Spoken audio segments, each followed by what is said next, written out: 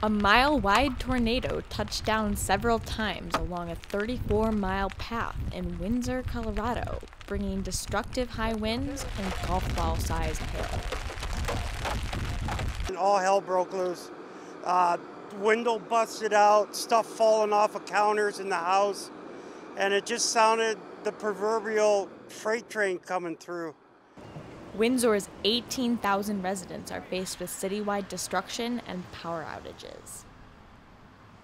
And that's the first time since I've lived here that Windsor, Milliken, Johnstown has been under a tornado warning.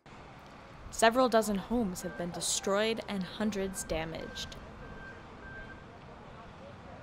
When I stepped outside, my uh, yard was rearranged. But there have been no reports of deaths or serious injuries. Everybody I've got in the house is fine, and everybody uh, that we know is fine now, so we're good.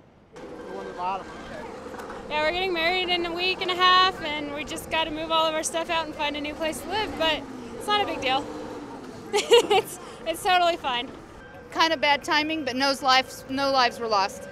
As Windsor begins to clean up, rebuild, and cope with the tornado's aftermath, residents remember what's important. This is only stuff.